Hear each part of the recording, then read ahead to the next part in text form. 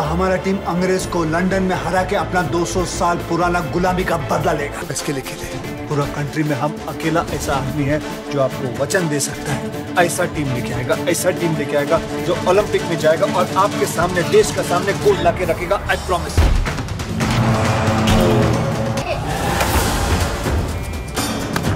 जिस तरह उनका देश में उन्हीं का पब्लिक का सामने उनका किंग का आगे उनको हराएगा। देखिए हम जब पैदा हुए थे तो डॉक्टर पहली नज़र में बोल दिए थे आपके घर में सेंटर फॉरवर्ड पैदा हुआ झंडा प्याज तक अपना सीने में दबाए रखा जाता है क्यों? एक दिन हमारा हिंदुस्तान आज़ाद होगा और फिर